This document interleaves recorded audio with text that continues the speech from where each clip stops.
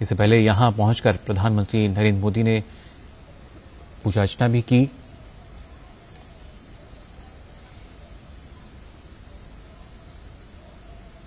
राजधानी दिल्ली के द्वारका सेक्टर 10 में पहुँचे हैं। अब से कुछ देर पहले प्रधानमंत्री नरेंद्र मोदी।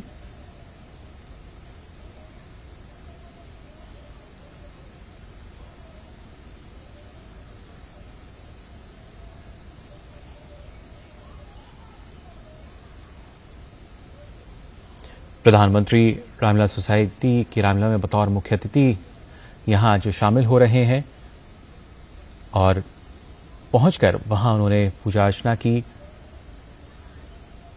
साथ ही साथ विधिवत रूप से जो पूजा है वो यहाँ संपन्न हुई, जिसमें शामिल हुए प्रधानमंत्री नरेंद्र मोदी।